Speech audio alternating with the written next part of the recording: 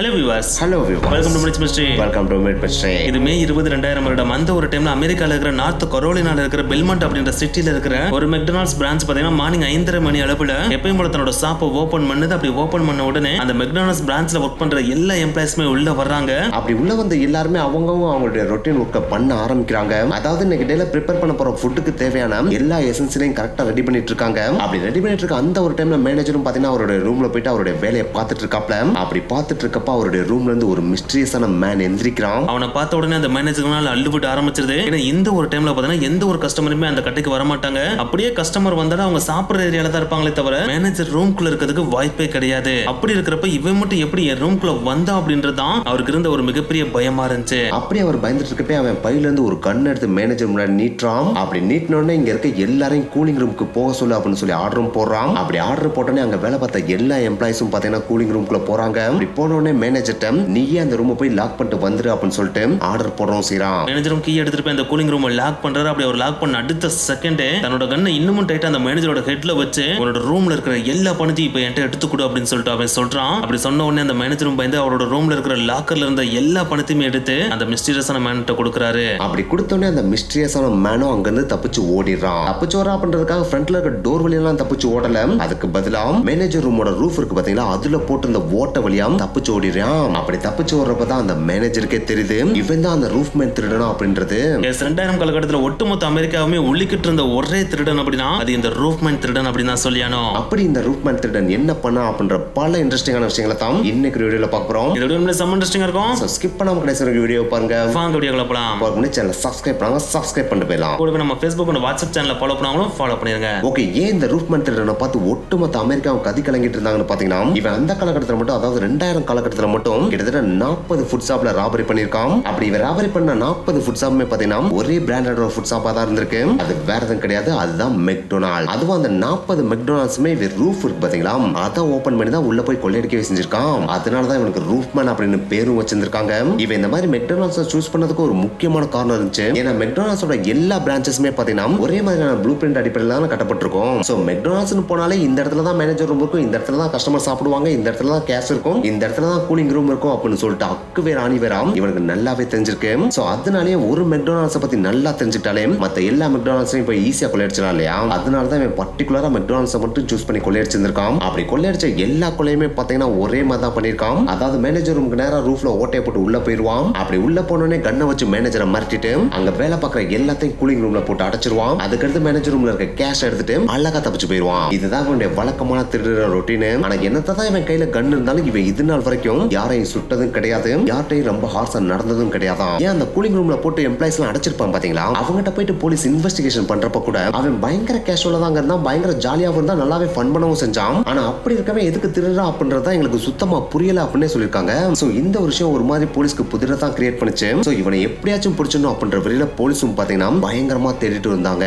So அதனாலே இவனை இதுக்கு மேலே திருட விடக்கூடாது. இந்த நாற்பது திட்டோட இவனை முடிச்சு விட்டுறணும் அப்படின்னு சொல்லிட்டு அமெரிக்கால இருக்க எல்லா மெக்டொனால்ட்ஸ்லயுமே போலீஸோட பாதுகாப்பை பலமா போடுறாங்க. ஆனா இப்படி போலீஸ் பாதுகாப்பு பலமா இருக்குன்னு தெரியாமையே நம்மால் பாத்தீங்கன்னா மே இருபது ரெண்டாயிராவது வருஷத்துல நம்ம ஃபர்ஸ்ட் சொன்ன மாதிரி மெக்டொனால்ட்ஸ்குள்ள போய் கொள்ளையடிக்க போறான் கொள்ளையடிச்சுட்டு பணத்தை எடுத்துட்டு வெளியவும் தப்பிச்சு ஓட போறான் அப்படி ஓடுறப்ப அந்த மேனேஜர் பாத்தீங்கன்னா டக்குன்னு வெளியில இருக்க போலீஸ்க்கு இன்ஃபார்ம் பண்ணிடுறாப்ல. அப்படி இன்ஃபார்ம் பண்ணனே போலீஸும் பாத்தீங்கன்னா அவனை துரத்தி போய் அல்லேக்கா பிடிச்சிடுறாங்க. அப்படி பிடிச்சோடனே அவன் மண்டல ரெண்டு தட்டை தட்டி வாடா போலீஸ் ஸ்டேஷனுக்கு அப்படின்னு சொல்லிட்டு தரதரன்னு இழுத்துட்டு போயிடுறாங்க. அப்படி இழுத்துட்டு போனதுக்கு அப்புறம் அவனை இன்வெஸ்டிகேஷன் ரூம்ல வச்சு விசாரிக்க ஆரம்பிக்கிறாங்க. அப்படி விசாரிக்கிறப்ப தான் அவன் யாருன்னே தெரிய வருது. அவன் பேர் தான் ஜெஃப்ரி ஆலன் மேன்செஸ்டர் இவன் சின்ன வயசுல பாத்தீங்கன்னா பயங்கர சமத்தா தான் இருந்திருக்கா. கலிபோர்னியால இருக்க ஒரு சின்ன சிட்டில பிறந்து வளரவும் செஞ்சிருக்கான். அப்படி வளர்றப்ப பாத்தீங்கன்னா நல்லா படிக்கவும் செஞ்சிருக்கான் வளர்ந்த பிறகு பாத்தீங்கன்னா யூஎஸ் ஆர்மில சேர்ந்து ஆர்மி மேனாவும் ஒர்க் பண்ணிருக்கான். சோ அது வரைக்கும் பாத்தீங்கன்னா இவனுடைய லைஃப்ல எந்த விதமான கிரைமும் இவன் பண்ணவே இல்ல. அப்புறம் என்ன நீ ஒரு சோல்ஜரா இருந்தும் திருட வந்த அப்படின்னு சொல்லிட்டு அவன்கிட்ட கேக்குறப்ப தான் நானும் என் லைஃப்ல ஒரு மிகப்பெரிய பொசிஷனுக்கு வந்துடணும் அப்படின்னு நினைச்சுதான் யூஎஸ் ஆர்மில சேர்ந்து வேலை பார்க்க ஆரம்பிச்சேன். ஆனா என்னத்தை தான் நான் ஆர்மில பயங்கரமா வேலை பார்த்தாலும் எனக்கு ப்ரொமோஷனுக்கு பதிலாக டிமோட் தான் பண்ணாங்க. ஸோ இந்த ஒரு விஷயம் எனக்கு வேற லெவலில் கடுப்பை கிரியேட் பண்ணிச்சு. ஸோ இதுக்கு மேலே நம்ம நல்லவனா இருந்தோம்னா அது வேலைக்கே ஆகாது அப்படின்னு சொல்லிட்டு தான் நான் திருடவே ஆரம்பிச்சேன். ஆனா நான் அப்படி ராபரி பண்றப்ப இந்த ஒரு பெரிய பிளஸ் என்னன்னா நான் ராணுவ வீரனா இருந்தனால என்னை யாருமே கண்டுக்கிறவும் இல்ல. அது மட்டும் கிடையாது என்னை ஆர்மி ட்ரைனிங்காக சில மாசங்களுக்கு ஒரு முறை பாத்தீங்கன்னா என்னை ஒவ்வொரு பெட்டாலியனா மாத்திக்கிட்டே இருப்பாங்க. அதாவது நம்ம நாட்டுல மாநில மாநிலமா மாத்துவாங்க பாத்தீங்களா? அதே மாதிரி அவங்க ஊர்ல மாத்திட்டே இருந்திருக்காங்க. அப்படி மாத்திரப்ப ஒவ்வொரு பெட்டாலியனா போய் அங்க இருக்க மெக்டொனால்ட்ஸ் பிரான்ச் இருக்கும் பாத்தீங்களா? அதுல கொள்ளையடிச்சிருந்திருக்கேன். சோ அப்படி கொள்ளையடிக்கிறப்ப அந்த ஸ்டேட்ல அதாவது அந்த மாகாணத்துல தானே அந்த கேஸை பதிவு பண்ணுவாங்க. அப்படி பதிவு பண்றப்ப அடுத்த ஸ்டேட்ல இதை பத்தி தெரியுமா அப்படின்னு கேட்டா அது கண்டிப்பா தெரியாது இல்லையா? சோ அதனால தான் கிட்டத்தட்ட முப்பது திருட பண்ற வரைக்கும் ஒருத்தன் இப்படி திருட்டு பண்ணிட்டு இருக்கா அப்படின்ற விஷயமே அமெரிக்கால தெரியாம இருந்திருக்கு. ஆனா அதுக்கப்புறம் மெக்டொனால்ட்ஸோட எல்லா பிரான்ச்சஸுமே ஒரே மாதிரியான கம்ப்ளைண்ட்ஸை வைக்க விட்டிருந்தான் இப்படி ஒரு திருடு பீரியாடிக்கா நடந்துட்டு இருக்கா அப்படின்ற ஒரு விஷயமே போலீஸ்க்கு தெரிய வருது. அப்படி தெரிஞ்சதுனால தான் இப்போ என்ன நீங்க புடிச்சிட்டீங்க அப்படின்னு சொல்லிட்டோம். அவன் பதில் சொல்றான். அப்படி இவன் ஃபீல் பண்ணி சொன்ன உடனே போலீஸ் இவனை பார்த்து குபீர்னு சிரிச்சு ஏன்னா நீ ஏன் ஒரு திருடே உனக்கு ஒரு பிளாஷ்பேக் வேறடா அப்படின்னு சொல்லிட்டு மண்டையில தட்டி அவனை கூட்டு போய் கோர்ட்ல நிக்க வச்சிருக்காங்க அப்படி நிக்க வச்ச உடனே அவனுக்கு நாற்பத்தஞ்சு வருஷம் சிறை தண்டனையும் கொடுத்துறாங்க. இந்த ஒரு தண்டனை பாத்தீங்கன்னா இவனுக்கு பக்கு நடிச்சிருது ஏன்னா அவனுக்கு வயசு பாத்தீங்கன்னா அப்ப இருபத்தேழு வயசு தான் ஆகுது. அப்படி இருக்கப்ப இவன் நாற்பத்தஞ்சு வருஷம் ஜெயில இருந்தானா? இவனுடைய லைஃபே ஓடிடும் இல்லையா? சோ நம்ம செத்தாலும் பரவாயில்ல ஜெயில மட்டும் சித்திரக்கூடாதுடா அப்படின்னு அன்னைக்கு ஜெஃபி முடிவு பண்றான். அப்படி முடிவு பண்ண நம்ம ஜெஃப்ரியா நார்த் கரோலினால இருக்கிற பிரவுன் கிரீக் அப்படின்ற ஒரு ஜெயில கொண்டு போய் போட்டுறாங்க. அப்படி ஜெயில போட்டு அடுத்த செகண்ட்ல இருந்தே இந்த ஜெயில இருந்து எப்படி தப்பிக்கணும் அப்படின்னு சொல்லிட்டு அவன் திங்க் பண்ண ஆரம்பிச்சிடான் அப்படி திங்க் பண்றப்ப அந்த ஜெயில பத்தின பல விஷயங்களை புதுசு புதுசா தெரிய ஆரம்பிக்கிறான் அந்த ஜெயில ஆல்ரெடி இருந்திருப்பாங்க பாத்தீங்களா பிரிசனர்ஸ் அவங்கள்ட்ட போயிட்டு இந்த ஜெயில எங்கெங்கெல்லாம் கேட்டிருக்கு எந்த வழியா போனா கார்ட்ஸோட கண்ணில் படாம வெளியே வரலாம் அப்படின்னு சொல்லிட்டு எல்லா டீட்டெயில்ஸுமே ஒவ்வொன்றா அக்குவர அணுவர கலெக்ட் பண்றான். ஆனா எனக்கு தான் அந்த டீட்டெயில்ஸ் எல்லாத்தையுமே இவன் கலெக்ட் பண்ணாலும் இந்த மாதிரி போலீஸோட கண்களுக்கு தெரிற மாதிரியான பாத்துல நம்ம தப்பிச்சு போனோம் அப்படின்னா கண்டிப்பா மாட்டிக்கிருவோம். சோ போலீஸோட கண்கள்லயே படாத மாதிரி ஏதாச்சும் ஒரு வழியை கண்டுபிடிச்சு அதுல தப்பிக்கணும் அப்படின்னு சொல்லிட்டு முடிவு பண்றான். அப்படி முடிவு பண்ண அந்த ஒரு வழியில தப்பிக்கணும் அப்படின்னா கண்டிப்பா போலீஸ்ட நல்ல பேர் எடுத்தா மட்டும்தான் தப்பிக்க முடியும் அப்படின்றதையும் அவன் கண்டுபிடிக்கிறான். அதுக்காக நல்ல பேர் எடுக்கணும் அப்படின்றதுக்காக சும்மா ஒரு வாரம் இல்லாட்டா ஒரு மாசம் நல்லவனா நடிச்சா மட்டும் நல்ல பேர் கிடைச்சிருமா அப்படின்னு கேட்டா அதுதான் கிடையாது. குறைஞ்சது ஜெஃப்ரி பாத்தீங்கன்னா கிட்டத்தட்ட நாலு வருடங்கள் எந்த விதமான தப்புமே பண்ணாம பக்காவான ஒழுக்கமான ஒரு கைதியா நடிக்க வேண்டிய சுச்சுவேஷனுக்கு போறான். அந்த ஒரு சுச்சுவேஷன் அவன் அழகா ஹேண்டில் பண்ணவும் செய்யறான் கிட்டத்தட்ட நாலு வருஷங்கள் பாத்தீங்கன்னா அவனோட கிரிமினல் மைண்ட் எல்லாத்தையுமே ஓரங்கட்டி வச்சுட்டு ஒரு பக்காவான நல்லவன் தப்பே செய்யாதவன் ஜெயிலுக்குள்ள இருந்தா எப்படி இருப்பானோ அந்த மாதிரியான ஆக்டிவிட்டிஸோட தான் அந்த ஜெயிலுக்குள்ள அவன் உலாவிட்டு இருக்கான். அதே நேரத்துல வேலையும் பார்த்துட்டு இருக்கான் சோ இந்த ஒரு விஷயத்தை பார்த்தா போலீஸ் நோட் பண்ண ஆரம்பிச்சிருக்காங்க அப்படி நோட் பண்ணோன்னே என்னோட சென்டென்ஸ் நம்ம கம்மி பண்ணலாம் அப்படின்னு சொல்லிட்டு அவங்க முடிவு பண்றாங்க. ஏன்னா அமெரிக்காலலாம் பார்த்தீங்கன்னா ஒரு ஆயுள் தண்டனை கைது ரொம்ப ஒழுக்கமா இருக்கா எந்த விதமான தப்புமே பண்ணாம இருக்கா அப்படின்னா அவன் சென்டென்ஸ் ரெடியூஸ் பண்றதுக்கு அவனே அப்பீல் பண்றதுக்கு ஒரு வாய்ப்பு கொடுப்பாங்க. சோ அந்த மாதிரியான சான்ஸ் நம்ம இவனுக்கு கொடுக்கலாம் அப்படின்னு சொல்லிட்டு போலீஸ் முடிவு பண்றாங்க. அப்படி முடிவு பண்ற அந்த ஒரு டைம்ல தான் நம்ம ஜெஃப்ரி போலீஸ் கிட்ட போயிட்டு எனக்கு நீங்க சென்டென்ஸ் எல்லாம் ரெடியூஸ் பண்ண வேணாம். எனக்கு தேவையான ஒரே ஒரு வேலையை மட்டும் நீங்க கொடுத்தா போதும். அந்த ஒரு இடத்துல நான் வேலை செஞ்சுக்கிட்டு என்னோட லைஃப் லாங்க ஜெயிலே நான் கழிச்சுக்கிறேன் அப்படின்னு சொல்லிட்டு கேட்க கேட்கறான். இதை கேட்ட உடனே போலீஸுக்குனாலும் பயங்கரமான ஆச்சரியம். என்னடா உனக்கு சென்டென்ஸ் ரெடியூஸ் பண்ணலாம் அப்படின்னு சொல்லிட்டு பார்த்தா இவன் எனக்கு ஒரு வேலையை கொடுங்க நான் பாட்டுக்கு வேலையை பார்த்துட்டு இங்கேயே தங்கிக்கிறேன்னு சொல்றான் சரி அப்படி என்னதான் வேலை வேணும் அப்படின்னு சொல்லிட்டு கேட்கறாங்க அப்படி கேட்கறப்ப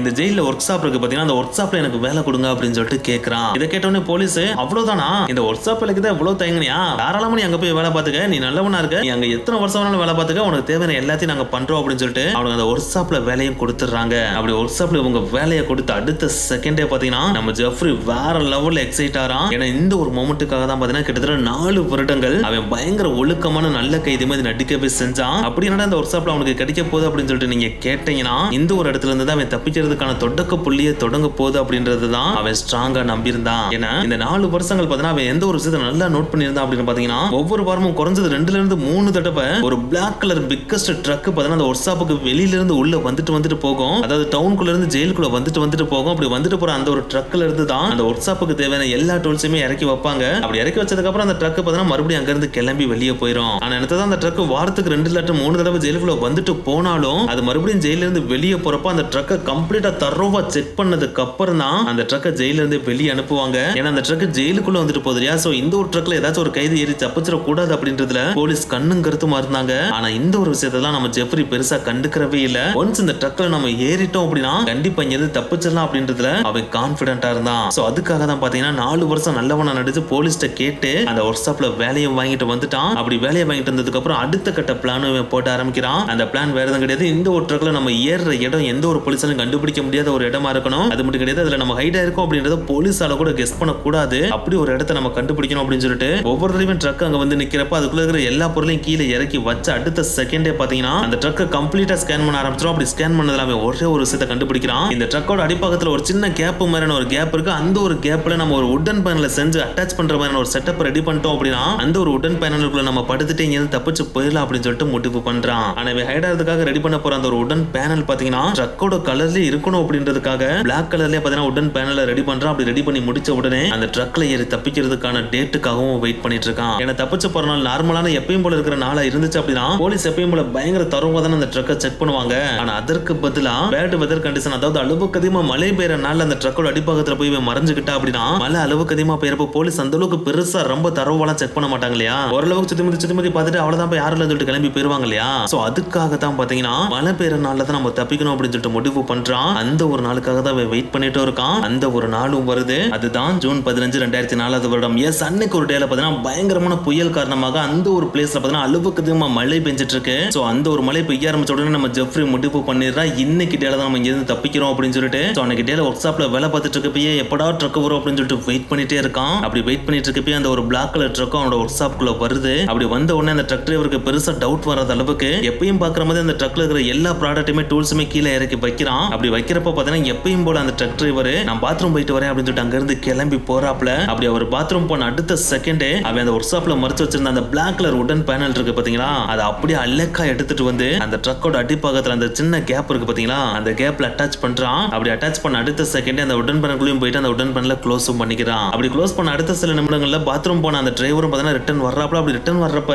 எங்க இங்க வேலை பார்த்துட்டு இருந்தவன ஆளை காணும். அப்படின்னு சொல்லிட்டு அங்கிட்டு தேடுறாப்ல அப்படி தேடினதுக்கு அப்புறம் சரி எதுக்கு அவன் ஜெயிலுக்குள்ள போனாலும் போயிருப்பா அப்படின்னு சொல்லிட்டு அவர் அதை பெருசா கண்டுக்கிறாம அந்த ட்ரக் அங்க இருந்து நகர்த்திட்டு போறாப்ல அப்படி அந்த ஒர்க் ஷாப்ல இருந்து வெளியே போறப்ப பாத்தீங்கன்னா அளவுக்கு அதிகமா மழை பெய்யுது. அந்த டிரைவரும் பாத்தீங்கன்னா கொஞ்சம் கொஞ்சம் கொஞ்சம் கொஞ்சமா ட்ரக்க போலீஸோட செக் பாயிண்ட் இருக்கிற ஏரியாக்கு பக்கத்துல கொண்டு வந்துடுறாரு. அப்படி கொண்டு வரப்ப அந்த ட்ரக்குக்கு அடிப்பாகத்துல படுத்துட்டு இருந்த நம்ம ஜெஃப்ரிக்கு திக்கு திக்குன்னு ஹார்ட் அடிக்க ஆரம்பிக்குது. அப்படி அடிக்க ஆரம்பிக்கிறப்ப பாத்தீங்கன்னா ட்ரக்கும் நிக்குது. அப்படி ரெண்டு அடுத்த செகண்டே அங்க இருந்த போலீஸ்காரங்க பாத்தீங்கன்னா குடு குடு குடு குடுன்னு ஓடி வந்து அந்த ட்ரக்ல அங்கிட்டு இங்கிட்டு இங்கிட்டு அங்கிட்டு பாக்குறாங்க ட்ரக்கை திறந்து பாக்குறாங்க கீழே குனிஞ்சு பாக்குறாங்க முன்னாடி பாக்குறாங்க பின்னாடி பாக்குறாங்கன்னு சொல்லிட்டு நார்மலான டேர்ல செக் பண்ற அளவுக்கு பயங்கர பொறுமையா செக் பண்ணாம மழை பெய்யறனால சும்மா பேருக்கு அங்கிட்டு ஓடி செக் பண்ணிட்டு சரி சரி ட்ரக்ல யாரும் இல்ல. நீ கிளம்பு கிளம்பு அப்படின்னு சொல்லிட்டு ட்ரக் அங்க இருந்து அனுப்பி விட்டுறாங்க. அப்படி அனுப்பி விட்றப்பதான் அந்த உடன் பேனலுக்குள்ள படுத்துட்டு இருந்த நம்ம ஜெஃப்ரிக்கே உயிர் வருது. சோ அந்த ட்ரக்கும் பாத்தீங்கன்னா அந்த ஜெயிலோட கதவை ஓபன் பண்ணி அந்த ஜெயில இருந்து வெளியே போகுது. அப்படி வெளியே போன உடனே நம்ம ஜெஃப்ரி அந்த ட்ரக்ல இருந்து கீழே குதிச்சு வெளியே வந்துடல. அதுக்கு பதிலா சில கிலோமீட்டர் வரைக்கும் இதை டிராவல் பண்ணட்டும் அப்படின்னு சொல்லிட்டு பொறுமையா அந்த பேனல்குள்ளே படுத்திருக்கான். அந்த ட்ரக்கும் பார்த்தீங்கன்னா சில கிலோமீட்டர்ஸ் அந்த ஜெயில இருந்து கிராஸ் பண்ணது அப்படி கிராஸ் பண்ண அடுத்த செகண்டே பாத்தீங்கன்னா அந்த உடன் பேனலை ஓபன் பண்ணி ட்ரக் ரன்னிங்ல இருக்க போய் டபக்குன்னு கீழே குதிச்சிடறான். இப்படியே டைம் டிக்கிங் ஆகுது. அன்னைக்கு நைட்டு வருது. அந்த நைட் டைம்ல பாத்தீங்கன்னா அந்த ஜெயில இருக்கிற எல்லா செல்லையுமே போலீஸ் செக் பண்றாங்க. அப்படி செக் பண்றப்ப தான் ஜெஃப்ரி அவனோட செல்ல இல்லன்றதை கண்டுபிடிக்கிறாங்க. அப்படி கண்டுபிடிச்ச உடனே வேகமா ஓடி போய் ஒர்க் ஷாப்ல பாக்குறாங்க பார்த்தா ஒர்க் ஷாப்லயும் அவன் இல்ல. சோ ஒர்க் ஷாப்ல அவன் இல்லன்றது தெரிஞ்ச உடனே அந்த ஜெயில இருக்கிற எல்லா பிளேஸுமே தரோவா செக் பண்றாங்க. ஆனா என்னத்தை தான் செக் பண்ணாலும் ஜெஃப்ரி எங்கேயுமே இல்ல. அப்படி இல்லன்றது தெரிஞ்ச உடனே அவன் இங்கேருந்து தப்பிச்சு போயிட்டா அப்படின்றத அனௌன்ஸ் பண்றாங்க. அப்படி அனௌன்ஸ் பண்ண உடனே போலீஸ் டக்கு டக்கு டக்கு டக்குன்னு அந்த ஜெயில சுத்தி இருக்கிற எல்லா பிளேஸ்லயுமே செக் பண்றாங்க. ஆனா என்னத்தை தான் செக் பண்ணாலும் ஜெஃப்ரி எங்கேயுமே கிடைக்கல. மாயமா மறைஞ்சிட்டான். சோ இப்படி இவன் மாயமா மறைஞ்சிட்டான் அப்படின்றது தெரிஞ்ச உடனே போலீஸ் போட்ட முதல் ஸ்கெட்சே பாத்தீங்கன்னா இவன் இங்க இருந்து தப்பிச்சு போறான் அப்படின்னா மிஞ்சி மிஞ்சி போனா எங்க போயிருவான்? அவங்க அம்மா அப்பா பார்க்க போறேன் அப்படின்னு சொல்லிட்டு அவனோட சொந்த டவுனுக்கு தான் போவான். அந்த டவுன் எங்க இருக்கு? கலிபோர்னியால தானே இருக்கு. சோ அவங்க வீட்டை நம்ம நுண்ணிப்பா வாட்ச் பண்ணணும்னு சொல்லிட்டு அங்க சில போலீஸ் அனுப்பி அவன் வர்றனாலையான்ற செக் பண்றதுக்காக அவங்க நுண்ணிப்பா வாட்ச் பண்ணிட்டு இருக்காங்க ஆனா என்னத்தை தான் அவங்க வாட்ச் பண்ணாலும் நம்ம ஜெஃப்ரி பார்த்தீங்கன்னா அவங்க அம்மா அப்பா பார்க்க வர்ற மாதிரியே தெரியல. நாட்கள் தான் ஓடுதே தவிர அவன் எங்க போனான் அப்படின்றத போலீஸால கண்டுபிடிக்கவே முடியல. சரி அப்ப அவன் எங்க தான்டா போனா அப்படின்னு சொல்லிட்டு கேட்டீங்கன்னா நம்ம ஜெஃப்ரியே பயங்கரமான கிரிமினல் இல்லையா? போலீஸ் எந்த மாதிரிலாம் திங்க் பண்ணுவாங்கன்னு அவனுக்கு நல்லாவே தெரியும். ஏன்னா ஜெயில இருந்து தப்பிச்சா கண்டிப்பா என் வீட்டுல தான் போலீஸ் போய் செக் பண்ணுவாங்க அப்படின்றது ஜெஃப்ரிக்கு நல்லாவே தெரிஞ்சுக்கு சோ அதனாலே வீட்டுக்கு போயிடவே கூடாதா அப்படின்னு சொல்லிட்டு முடிவு பண்ணிடுறான். அது கூடவே சேர்த்து நம்ம ஜெயிலுக்கு பக்கத்துல இருக்க டவுன்ல தான் ஹைடா இருக்கணும் அப்படின்ற விஷயத்தையும் முடிவு பண்ணிடுறான். சோ அப்படி முடிவு பண்ணோன்னே அதற்கான பெர்ஃபெக்டான பிளேஸ் எது அப்படின்னு சொல்லிட்டு தேட ஆரம்பிக்கிறான். அப்படி தேடுறது மார்னிங் டைம்லலாம் தேட மாட்டான். நைட் டைம் இருக்கும் பார்த்தீங்கன்னா அந்த டைம்ல தான் தேடுவான். ஸோ அப்படி சில நாட்கள் தேடி அலைஞ்சு ஒரு பிளேஸை கண்டுபிடிக்கிறான். அதுதான் அந்த ஜெயில இருந்து சில கிலோமீட்டர் தூரத்தில் சார்லட் அப்படின்ற ஒரு சிட்டி இருக்கு. அந்த சிட்டிக்குள்ள இருக்கிற ஒரு டாய் ஷாப்ல தான் நம்ம தங்கணும் அப்படின்னு சொல்லிட்டு முடிவு பண்றான். இதை கேட்டோன்னே உங்களுக்கு காமெடியா இருக்கலாம். எதுக்குடா ஒரு டாய் ஷாப்ல போய் இவன் தங்கணும் அப்படின்னு சொல்லிட்டு நீங்க யோசிக்கலாம். ஆனா அங்கதான் நம்ம ஜெஃப்ரி ஜீனியஸாவே செயல்பட்டு இருக்கான் ஏன்னா ஒரு டாய் ஷாப்ல போயிட்டு போலீஸ் கைதியை தேடுவாங்களா அப்படின்னு கேட்டான். அது கண்டிப்பா கிடையாது இல்லையா? ஏன்னா டாய் ஷாப்புக்கு மேக்ஸிமம் யார் வருவாங்க? சின்ன பசங்க வருவாங்க இல்லாட்டினா பேரண்ட்ஸ் தானே வருவாங்க. அதை தாண்டி ஒரு கைதியெல்லாம் இதுக்குள்ள வருவானான்னு கேட்டா அது கண்டிப்பா கிடையாது இல்லையா? சோ அதனால தான் இதுக்குள்ள போனா நமக்கு சேஃப் அப்படின்னு சொல்லிட்டு முடிவு பண்றான். ஆனா அப்படி போறதே சும்மா போயிட்டு வந்துடலாம் கூடாது. அதுக்குள்ளேயே ஸ்டே பண்ணணும் அப்படின்னு சொல்லிட்டு முடிவு பண்றான். சோ அதனாலே அந்த டாய் ஷாப்புக்கு ஒவ்வொரு நாள் மார்னிங்கும் போயிட்டு ரைட் ஆகிறதுக்கு பர்ஃபெக்டான பிளேஸ் இருக்கா அப்படின்னு சொல்லிட்டு தேடுவான். அப்படி இவன் பல நாள் தேடினதுல ஒரு பிளேஸையும் கண்டுபிடிக்கிறான். அதுதான் அந்த டாய் ஷாப்ல ஒரு இடத்துல பாத்தீங்கன்னா டாய்ஸ் அடுக்கி வச்சிருக்க ஒரு மிகப்பெரிய பலகை இருந்திருக்கு. அந்த பலகை பாத்தீங்கன்னா ஸ்லோப் சேஃப்ல இருந்திருக்கு. அது பாத்தீங்கன்னா செவரோட செவரா சாத்தி வைக்கப்பட்டிருந்திருக்கு. சோ அதை நம்ம ஜெஃப்ரி பாத்தீங்கன்னா லைட்டா நகர்த்தி பார்த்திருக்கான் அப்படி பாக்குறப்ப பாத்தீங்கன்னா அந்த ஸ்லோப்புக்கு அடிப்பாங்க இருக்கு பாத்தீங்களா? அதுல பாத்தீங்கன்னா நல்ல ஒரு கேப் இருக்க மாதிரி இருந்திருக்கு. சோ அதுக்குள்ள போயிட்டு இவன் படுத்துக்கிட்டு அந்த ஸ்லோப்பை செவரோட செவரா சாத்தி வச்சிட்டான். இவன் உள்ள இருக்கிறது வெளியில இருக்க யாருக்குமே தெரியாது அப்படின்றது ஜெஃப்ரிக்கு நல்லாவே தெரிஞ்சிருச்சு. சோ இதுதானே நம்ம கைடா இருக்கு பெர்ஃபெக்டான பிளேஸ் அப்படின்றதையும் ஜெஃப்ரி சூஸ் பண்ணிடுறான். அப்படி சூஸ் பண்ணோடனே ஒரு நாள் பாத்தீங்கன்னா கடைக்கு நார்மலா பொம்மை வாங்குற பேரண்ட் மாதிரியே வர்றான். அப்படி வந்து அவன் பாத்தீங்கன்னா அந்த ஸ்லோப் கிட்ட போயிட்டு அந்த ஸ்லோப்பை லைட்டா நகர்த்திட்டு அதுக்குள்ள போயிட்டு படுத்துக்கிட்டு அந்த ஸ்லோப்பை செவரோட செவரா சாத்தி வச்சிருக்கான். இந்த ஒரு விஷயத்த பாத்தீங்கன்னா அந்த கடையில வேலை பாக்குற யாருமே பெருசா நோட் பண்ணவே இல்ல. அப்படியே டைம் டிக்கிங் ஆகுது. அன்னைக்கு நைட்டும் ஆகுது. அந்த கடையில வேலை பார்க்குற எல்லாரும் வீட்டுக்கும் போயிறாங்க. கடையும் க்ளோஸ் பண்ணப்படுது. அப்படி க்ளோஸ் பண்ண அடுத்த செகண்டே பாத்தீங்கன்னா அந்த ஸ்லோப்பை லைட்டா நகர்த்திட்டு நம்ம தலைவர் வெளியில வராரு அப்படி வெளியே வந்த உடனே இன்னைக்கு நைட்டுக்குள்ள பாத்தீங்கன்னா நம்ம இந்த சாப்பை கம்ப்ளீட்டா படிச்சு முடிச்சிடா அப்படின்னு சொல்லிட்டு முடிவும் பண்றான். டாய் ஷாப்ல போய் என்னத்தரா படிக்க போறான் அப்படின்னு சொல்லிட்டு நீங்க கேட்கலாம். அவன் படிக்க நினைச்சது புக்கெல்லாம் கிடையாது. இந்த கடை எப்போ ஓபன் பண்ணப்படுது எப்போ க்ளோஸ் பண்ணப்படுது எங்க மேனேஜர் ரூம் இருக்குது. எங்க கேஸ வச்சிருக்காங்க எத்தனை பேர் எங்கெங்க வேலை பார்க்குறாங்க போலீஸ் இந்த கடைக்கு அடிக்கடி வர்றாங்களா எங்கெங்க சிசிடிவி கேமரா இருக்கு அந்த கேமரா இருக்க இடத்துல நான் கவர் ஆகிறேனா அப்படின்ற பல விஷயங்களை தெரிஞ்சுக்கணும் ஆசைப்படுறான். இது எல்லாத்தையும் ஒரே நாள் இரவுல தெரிஞ்சுக்கணும்னா எங்க போய் தெரிஞ்சுக்க முடியும்? மேனேஜர் டீட்டெயில கேட்டா மட்டும் தான் நான் தெரிஞ்சுக்க முடியும். ஆனா அவர்கிட்ட போயிட்டு நான் ஒரு கைதி நான் ஜெயில இருந்து தப்பிச்சு வந்துட்டேன். உங்க கடையில தான் ஒழிஞ்சுக்கலாம் இருக்கேன். உங்க கடையை பத்தி டீட்டெயில்ஸ் சொல்லுங்க அப்படின்னு கேட்டா சொல்லிடுவாரா என்ன? அல்லேக்கா இவனை தூக்கிட்டு போயிட்டு போலீஸ்ட கொடுத்துருவாரு இல்லையா? சோ அவர்கிட்ட கேட்டு தெரிஞ்சுக்கிறதுக்கெல்லாம் வாய்ப்பே கிடையாது. வேற எங்கடா போய் இந்த டீட்டெயிலாம் தெரிஞ்சுக்கலாம் அப்படின்னு இவன் பயங்கரமா திங்க் பண்றப்பதான் இது எல்லாத்தையும் தெரிஞ்சுக்கிறதுக்கு இருக்க ஒரே பிளேஸ் தான் சிசிடிவி சர்வர் ரூம் அப்படின்னு கண்டுபிடிக்கவும் செய்யறான் உடனே நேரா சிசிடிவி சர்வர் ரூமுக்கு போயிட்டு எல்லா ஃபுட்டேஜையும் போட்டு பார்க்கறான். அதுல இந்த டாய் ஷாப்பை பத்தி டாப் டு பாட்டம் டீடைல்ஸை கம்ப்ளீட்டா எடுத்துறான் அப்படி எடுக்கிறப்ப இந்த டாய் ஷாப்புக்கு பார்த்தீங்கன்னா போலீஸ் அந்த அளவுக்கு பெருசா ரவுண்ட்ஸும் வர மாட்டாங்க அப்படின்ற விஷயத்தையும் கண்டுபிடிக்கிறான். அதே நேரத்துல இவன் ஹைடா இருக்கான் பாத்தீங்களா அந்த ஸ்லோப் இருக்க ஏரியாவும் சிசிடிவில கவர் ஆகல அப்படின்ற விஷயத்தையும் கண்டுபிடிச்சிடுறான். அப்ப நம்ம சேஃப் அப்படின்னு சொல்லிட்டு முடிவு பண்ணிடுறான். அப்படி முடிவு பண்ண உடனே பாத்தீங்கன்னா டெய்லி பகல் டைம்ல எல்லாம் பாத்தீங்கன்னா அந்த ஸ்லோப் கடியில போய் தூங்கிடுவான். நைட் டைம்ல பாத்தீங்கன்னா அங்க இருந்து வெளியில வந்து வெளியில இருக்கிற ஆர்சி கார்லாம் இருக்கு பாத்தீங்கன்னா அதை எடுத்து சருபுருன்னு ஓட்டிட்டு தெரிவியான் அதுக்கடுத்து சாப்பாடுக்கு என்ன பண்ணுவான்னு பாத்தீங்கன்னா அந்த கடையில பாத்தீங்கன்னா கிட்ஸுக்கு நிறைய ஸ்நாக்ஸ் ஐட்டம் இருக்கும் பாத்தீங்களா? அந்த ஸ்நாக்ஸ் ஃபுட் எல்லாம் எடுத்து தின்னு தெரிவியான் அதுக்கடுத்து பாத்ரூம்னு பாத்தீங்கன்னா மார்னிங் டைம்ல எல்லாம் போக முடியாது இல்லையா? நைட் டைம்ல மட்டும் அந்த டாய் ஸ்டோர்ல இருக்க பாத்ரூமே யூஸ் பண்ணிக்குவான். ஏன்னா நீங்க சொல்றதெல்லாம் பாத்தீங்கன்னா அவன் டாய் ஸ்டோருக்குள்ள குடும்பமே நடத்திருக்கான். இதெல்லாம் சிசிடிவி கேமரா நோட் பண்ணாம இருந்தாங்க அப்படின்னு சொல்லிட்டு நீங்க கேட்கலாம். இந்த ஒரு இடத்துல தான் பாத்தீங்கன்னா நம்ம ஜெஃப்ரி ஜீனியஸா செயல்பட்டு இருக்கான் ஏன்னா எப்பயுமே சிசிடிவி கேமரா எப்ப செக் பண்ணுவாங்க? ஏதாவது சந்தேகப்படும்படியான விஷயம் நடந்தா மட்டும் தானே செக் பண்ணுவாங்க. ஸோ அந்த மாதிரியான இன்சிடென்ட் டாய் ஸ்டோருக்குள்ள நடக்குதா அப்படின்றத கீப் பண்ணி இவன் வாட்ச் பண்ணிட்டே இருப்பான். அப்படி எதுவும் நடக்கல அப்படின்னு தெரிஞ்சா மட்டும் தான் அவன் அந்த டாய் ஸ்டோர்லயே இருப்பானா? சப்போஸ் அங்க ஏதாவது நடந்துருச்சு அப்படின்னா அங்கிருந்து துண்டக்கான துணியக்கானு ஓடினோண்டா அப்படின்னு கூட முடிவு பண்ணி வச்சிருந்தான் ஆனா இவனுடைய நல்ல நேரத்துக்கு பாத்தீங்கன்னா அந்த டாய் ஸ்டோர்ல எந்த விதமான அசம்பாவிதமும் நடக்கல. அந்த டாய் ஸ்டோரோட மேனேஜ்மெண்ட்டும் பாத்தீங்கன்னா பெருசா சிசிடிவி செக் பண்ணவும் இல்ல. இப்படியே பாத்தீங்கன்னா நாட்களும் ஓடுது சில மாசங்களும் கடக்குது. இவனும் ஒரே மாதிரி தான் பகலான ஸ்லோப்ல போயிருந்து நைட்டான ஸ்லோப்ல இருந்து வெளியே வந்துருதுன்னு சொல்லிட்டு ஓட்டிட்டே இருக்கான் ஆனால் இந்த ஒரு விஷயம் பார்த்தீங்கன்னா நாட்கள் போக போக ஜெஃப்ரிக்கு கடுப்பை கிரியேட் பண்ணிடுது ஸோ இதுக்கு மேலே இங்கே தங்க வேணா நம்ம வேற ஏதாவது ஹைடிங் ஸ்பாட்டை கண்டுபிடிக்கணும் அப்படின்னு சொல்லிட்டு முடிவு பண்ணிடுறான். இந்த மாதிரி இவன் முடிவு பண்ணதுக்கு இன்னொரு ரீசன் வந்திருக்கு. ஏன்னா இப்போ பார்த்தீங்கன்னா ஃபால் வர டைம் வந்துருச்சு. அதாவது இயர் ரெண்டு காலகட்டமும் வந்துருச்சு. அந்த ஒரு காலகட்டத்தில் அமெரிக்காவில் பார்த்தீங்கன்னா கிறிஸ்மஸ் நியூ இயர்லாம் பயங்கரமாக கொண்டாடுவாங்க இல்லையா? ஸோ அதனாலே கிஃப்ட் வாங்குறதுக்காக எக்கச்சக்க கூட்டம் அந்த கடைக்கு வரும் இல்லையா? அப்படி வர்றப்ப இப்போ மறைஞ்சிருக்க ஸ்லோப்பை தெரியாம யாராவது நகர்த்தி விட்டாங்கன்னா இவனை அலேக்கா பிடிச்சிருவாங்க இல்லையா? ஸோ அதனால இதுக்கு மேலே நம்ம இங்கே இருக்கக்கூடாதா வேற ஏதாவது ஹைடிங் ஸ்பாட்டை கண்டுபிடிக்கணும் அப்படின்னு சொல்லிட்டு முடிவு பண்றான் அப்படி முடிவு பண்ணனே அந்த டாஸ்டரோட அண்டர் கிரவுண்டுக்கு போறான் அங்க ஒரு மெயின்டெனன்ஸ் ரூம் இருக்கு. அந்த மெயின்டெனன்ஸ் ரூம்ல பாத்தீங்கன்னா ஒரு சின்ன ஹோல் இருக்கு. அந்த ஓட்ட வழியை பாத்தீங்கன்னா தன்னுடைய கண்ணை வச்சு உத்து பாக்குறான் அப்படி பாக்குறப்ப அந்த சுவரோட ஆப்போசிட் சைட்ல பாத்தீங்கன்னா ஒரு பெரிய வேர் ஹவுஸ் இருக்கத பாக்குறான் ஆனா அந்த வேர் ஹவுஸ் பாத்தீங்கன்னா கம்ப்ளீட்டா எம்டியா இருக்கு. அதே நேரத்துல அபாண்டனா இருக்க மாதிரியும் தெரியுது. சோ அதுக்குள்ள நம்ம போயிட்டோம் அப்படின்னா நல்லா ஃப்ரீயாவும் சுத்தலாம். அதே நேரத்துல நல்லா ஹைடிங் ஸ்பாட்டாவும் இருக்கும் அப்படின்னு சொல்லிட்டு முடிவு பண்றான். அப்படி முடிவு பண்ணனே அந்த வேர் ஹவுஸ்க்குள்ள வெளியே கூட உள்ள போலாமா அப்படின்னு யோசிக்கிறான் ஆனா அப்படி போனா அபாண்டன் வேர் ஹவுஸ்க்குள்ள ஒருத்தன் போனேன் அப்படின்றத யாராவது பார்த்துட்டாங்க அப்படின்னா கண்டிப்பா போலீஸ் இன்ஃபார்ம் பண்ணிடுவாங்க இல்லையா சோ நம்ம வெளியக்குள்ள அந்த வேற ஹவுஸ்க்குள்ள போகவே முடியாது. இந்த டாய் ஷாப்ல இருந்த மாதிரியே அந்த வேற ஹவுஸ்க்குள்ள போய் ஆகணும் அப்படின்னு சொல்லிட்டு முடிவு பண்றான் அதுக்கு இவனுக்கு இருந்த ஒரே வழி என்னன்னா இவன் இப்ப எட்டி பார்த்தேன் பாத்தீங்கன்னா இந்த சின்ன ஓட்டை இந்த ஓட்டை அப்படியே பெரிய ஓட்டையாக்கி அதுக்குள்ள இவன் ஊர்ந்து போறதுதான் ஒரே சாய்ஸா இவனுக்கு இருந்துச்சு. ஏன்னா இந்த டாய்ஸரும் அந்த வேற ஹவுஸும் பாத்தீங்கன்னா ஒட்டி ஒட்டி தான் இருந்துச்சு. இது ரெண்டையும் பிரிக்கிற ஒரே பிரிவுன்னு பாத்தீங்கன்னா இந்த ஒரே வாலா தான் இருந்துச்சு. சோ இந்த ஓட்ட வழியா தான் அந்த வேற ஹவுஸ்க்குள்ள போக போறோம் அப்படின்ற விஷயத்த முடிவு பண்ண அன்னைக்கு நைட்ல இருந்து ஒவ்வொரு நாள் நைட்டு அந்த மெயின்டெனன்ஸ் ரூமுக்கு போய் ஓட்டியை போட ஆரம்பிக்கிறான். எப்படியே ஜெஃப்ரி ஒவ்வொரு நாளும் பார்த்தீங்கன்னா நைட்டு ஓட்டியா போட்டு ஓட்டிய போட்டு ஒரு வழியா பார்த்தீங்கன்னா அந்த சுவரில் மொத்த ஓட்டியும் போட்டு முடிச்சு ஆப்போசிட் சைடு வேர் ஹவுஸ் தெர்ற மாதிரி வேலையை கம்ப்ளீட் பண்ணி முடிச்சிட்டான். அப்படி கம்ப்ளீட் பண்ணி முடிச்ச உடனே டாய் ஸ்டோர்ல இருந்து ஆப்போசிட் சைடுல இருக்கிற அந்த warehouse empty warehouse இருக்கு பாத்தீங்களா அதுக்குள்ள நுழைஞ்சு போய் பார்க்குறான். அப்படி பார்க்குறப்ப அந்த ஒட்டுமொத்த வேர் ஹவுஸுமே அபாண்டண்டாக தான் இருக்கு. எல்லா பக்கமும் நூலாம்பட பிடிச்சி தான் கிடக்கு. இருந்தாலும் நம்ம கிரவுண்ட் ஃப்ளோர்ல தங்கவே கூடாது. நம்மளோட நடமாட்டம் வெளியில இருக்கிற யாருக்காச்சும் ஒருத்தருக்கு சின்ன டவுட்டை கிரியேட் பண்ணாலும் அது நம்மள போலீஸ்ட பிடிச்சு கொடுக்க வச்சிரும். ஸோ நம்ம இங்கேயும் அண்டர் கிரவுண்ட்ல தான் தங்கணும் அப்படின்னு சொல்லிட்டு அந்த வேர் ஹவுஸ்ல அண்டர் கிரவுண்ட்ல ஏதாச்சும் ரூம் இருக்கான்னு போய் செக் பண்றான். அப்படி செக் பண்றப்போ ஒரு சின்ன ரூம் இருக்கிறத கண்டுபிடிக்கிறான். ஆனா அந்த ரூம் பாத்தீங்கன்னா எதிர்பார்த்த அளவுக்கு அந்த அளவுக்கு சுத்தமாலாம் கிடையாது. ஏன்னா அது அபாண்டண்டா இருக்கு இல்லையா? சோ அதனாலேயே பாத்தீங்கன்னா மணலும் தூசி நூலாம்படி நிறைஞ்சு போய் கிடக்கு. சோ அது எல்லாத்தையுமே பாத்தீங்கன்னா கம்ப்ளீட்டா நைட்டோட நைட்டா கிளீன் பண்ணி முடிச்சுட்டு அந்த ரூம் அவன் தங்குறதுக்கு ஏத்த மாதிரி பெர்ஃபெக்ட்டா ரெடி பண்றான். அப்படி ரெடி பண்ண அந்த ஒரு அண்டர் கிரவுண்ட் ரூம்குள்ளேயே பாத்தீங்கன்னா அவனுக்கு தேவையான அந்த போர்வை கீர்வலா இருக்கும் பாத்தீங்களா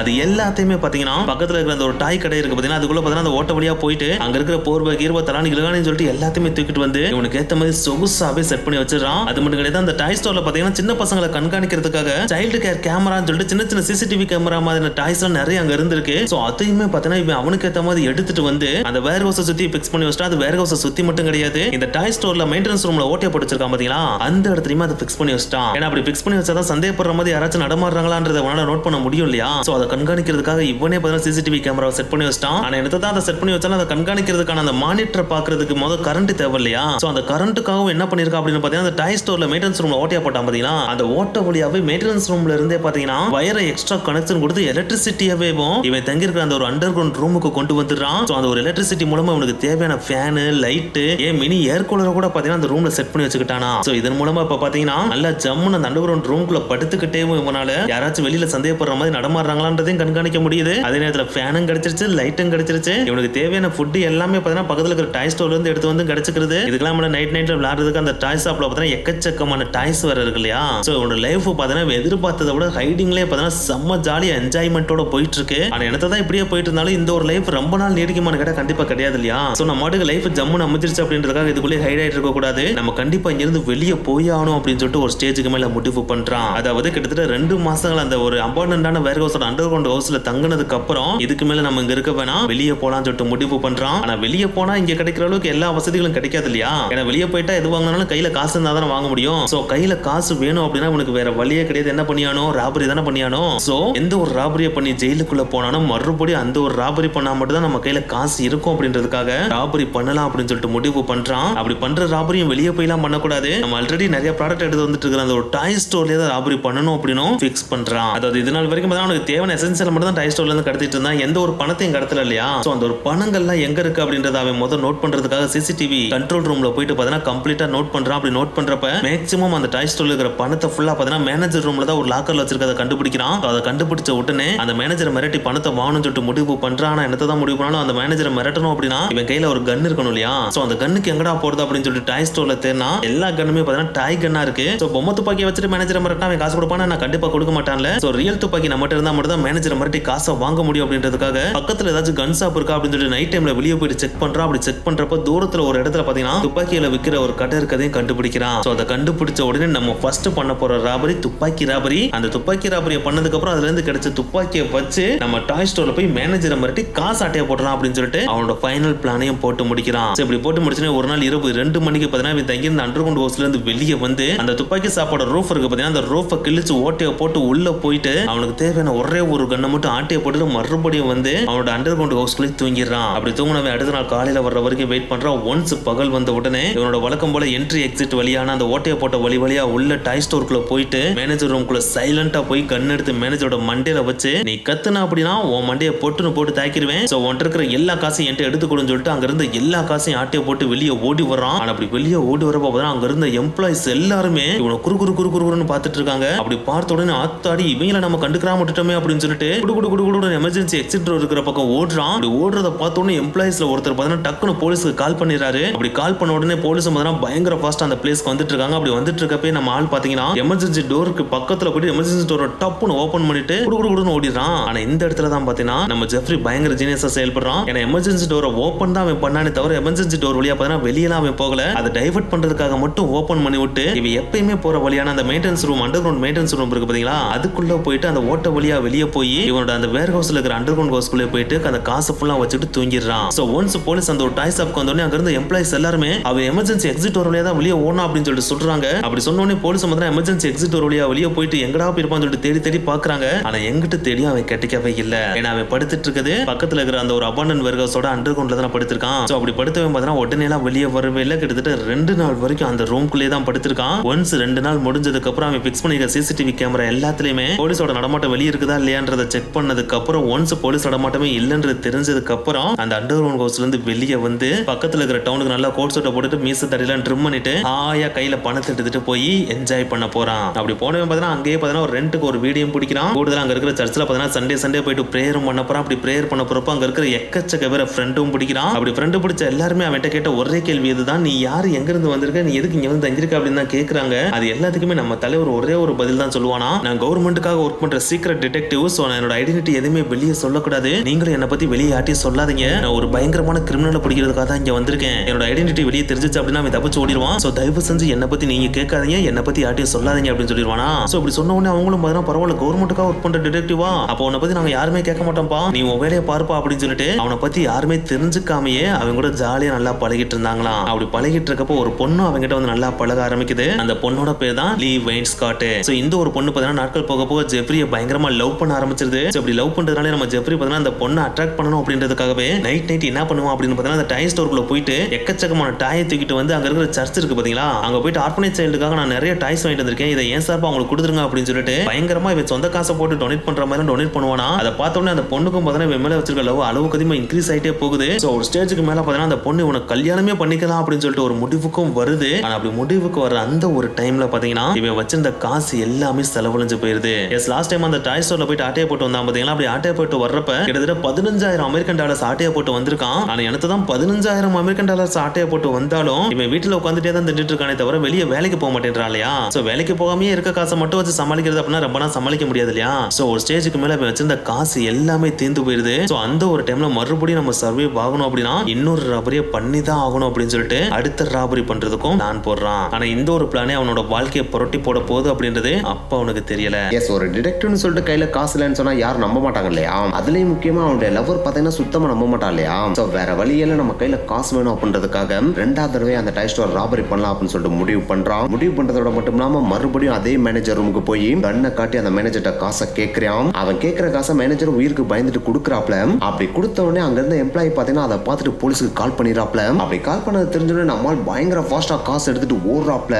அப்படி ஓடுறப்பதான் ஒரு சில்லியான மிஸ்டேக்கை பண்ணி விட்டுறாப்ல. ஏன்னா போன தடவை பாத்தீங்கன்னா எமர்ஜென்சி டோரை ஓபன் பண்ணி டைவர்ட் பண்ணாப்ல இல்லையா? ஆனா இந்த தடவை டைவர்ட் பண்ணாமே நம்ம தலைவர் பாத்தீங்கன்னா அண்டர் கிரவுண்ட்குள்ள ஓடிறாப்ல அதாவது மெயின்டெனன்ஸ் ரூம் ஓடிறாப்ல அப்படி இவன் ஓடுறத அங்க இருந்த ஒரு எம்ப்ளாயும் பாத்துறாப்ல சோ அப்படி பார்த்தோன்னே அவர் போலீஸ்ட்ட போயிட்டு அது அண்டர் கிரவுண்ட்குள்ள தான் போனா அப்படின்னு சொல்லவும் செஞ்சிராப்ல அப்படி சொன்னோடனே போலீஸும் பாத்தீங்கன்னா அந்த மெயின்டெனன்ஸ் ரூம்குள்ள போயிட்டு தரோவா செக் பண்றாங்க. அப்படி செக் பண்றப்ப தான் மெயின்டெனன்ஸ் ரூம்ல ஒரு பெரிய ஓட்டை இருக்கதே கண்டுபிடிக்கிறாங்க. அந்த ஓட்டைக்குள்ள நுழைஞ்சு போனா ஆப்போசிட் சைடுல இருக்க வேர் ஹவுஸ்ல அண்டர் கிரவுண்ட்ல ஒரு சின்ன ரூம் இருக்கதையும் கண்டுபிடிக்கிறாங்க. அந்த ரூம்ல பாத்தீங்கன்னா சகல சௌகரியங்களையும் நம்மால் செஞ்சு வச்சிருக்கான்றதையும் கண்டுபிடிச்சிடறாங்க. கூடுதலா நம்மால் உள்ள ஹாயா படுத்துக்கிட்டு வெளியில என்னென்ன விஷயங்கள்லாம் நடக்குது அப்படின்ற எல்லா விஷயங்களையும் சிசிடிவி மூலம் கண்காணிச்சிட்டு இருந்திருக்கா அப்படின்ற விஷயம் விஷயத்தையும் கண்டுபிடிச்சாங்க ஆனா என்னதான் இவ்வளவு விஷயங்களை போலீஸ் கண்டுபிடிச்சாலும் அந்த இடத்துல ஜெஃப்ரி இருந்தாலான்னு கேட்டான். அதுதான் கிடையாது. அவன் நேரா வேற அண்டர் கிரவுண்டுக்கு போகாம இந்த தடவை நம்மள போலீஸ் பிடிச்சிருவாங்க அப்படின்றத தெரிஞ்சுக்கிட்டே வேற பேக் டோர் வழியே வெளியே தப்பிச்சு ஓடிடுறான். ஆனா என்னதான் தப்பிச்சு ஒன்னாலும் வேற அண்டர் கிரவுண்ட் ரூம் இருக்கு பாத்தீங்களா? அந்த ரூம்ல இருந்து இவனுடைய ஃபிங்கர் பிரிண்ட போலீஸ் எடுத்துறாங்க அப்படி எடுத்தோடனே அந்த ஃபிங்கர் பிரிண்ட எல்லா கிரிமினலோட ரெக்கார்ட்ஸையும் கம்பேர் பண்ணி பாக்குறாங்க. அப்படி பாக்குறப்பதான் அவங்களுக்கே ஒரு ஷாக்கிங் காத்துட்டு இருந்துச்சு. இந்த ஃபிங்கர் பிரிண்ட்ஸ் வேற யாரோட இதுவும் கிடையாது. இதற்கு முன்னாடி நாற்பது மெக்டோனல்ட்ஸை கொள்ளையடிச்ச ரூஃப் மேனுடைய தான் அப்படின்னு இவன் தான் ஜெயில இருந்து தப்பிச்சு வந்தவன்றதையும் கண்டுபிடிச்சிருக்காங்க அது தெரிஞ்ச உடனே அவனுடைய போட்டோவை எக்கச்சக்கமா பிரிண்ட் பண்ணி சிட்டியோட மூளை முடுக்கு எல்லாத்தையும் ஒட்டிடுறாங்க. இவனை கண்டுபிடிச்சு துப்பு கொடுக்கறவங்களுக்கு ரிவார்ட் அப்படின்னு அனௌன்ஸ் பண்ணிடுறாங்க. அப்படி அனௌன்ஸ் பண்ணோன்னே இவன் சர்ச்சில் எக்கச்சக்க பேட்ட பழகிருந்தான் இல்லையா? அதுல ஒருத்தர் பாத்தீங்கன்னா இந்த போட்டோ பார்த்து போலீஸ்க்கு கால் பண்ணிடுறாப்ல. இவன் ஞாயிற்று ஞாயிற்றுக்கிழமை எங்க சர்ச்சுக்கு வருவானேங்க. இவன் டிடெக்டிவ்னு சொன்னா நீங்க குற்றவாளின்னு சொல்லிட்டு இருக்கீங்க. உங்களுக்கு இவனை பத்தி டீட்டெயில் வேணா சர்ச்சில் வந்து கேளுங்க அப்படின்னு சொல்லிடுறாப்ல. சோ போலீஸும் பாத்தீங்கன்னா அந்த சர்ச்சுக்கு உடனே போய் இவனை பத்தி டீட்டெயில்ஸ் எல்லாத்தையும் கலெக்ட் பண்றாங்க. அப்படி கலெக்ட் கலெக்ட் பண்ணுறப்ப தான் அந்த டவுன்ல இவன் ஒரு பொண்ணை லவ் பண்றேன் அப்படின்ற விஷயத்தையும் தெரிஞ்சுக்கிறாங்க. அப்படி கலெக்ட் பண்ணோடனே அந்த பொண்ணோட வீட்டுக்கு போயிட்டு உங்களுடைய ஹெல்ப் எங்களுக்கு கண்டிப்பா வேணும் அப்படின்னு சொல்லிட்டு கேட்குறாங்க அப்படி கேக்குறப்பே அந்த பொண்ணுக்கு ஒரு ஃபோன் கால் வருது. அந்த ஃபோன் பண்றது வேற யாரும் கிடையாது. நம்ம ஜெஃப்ரி தான். அந்த கால்ல அவன் நான் கடைசி அவனை ஒரு தடவை பார்க்கணும். இப்போ வந்து பார்க்கலாமா? அப்படின்னு கேட்குறான் அப்படி கேட்கறது தெரிஞ்சோடனே போலீஸ் சைக்கிளையே அவனை வர சொல்லு அப்படின்னு சொல்றாங்க.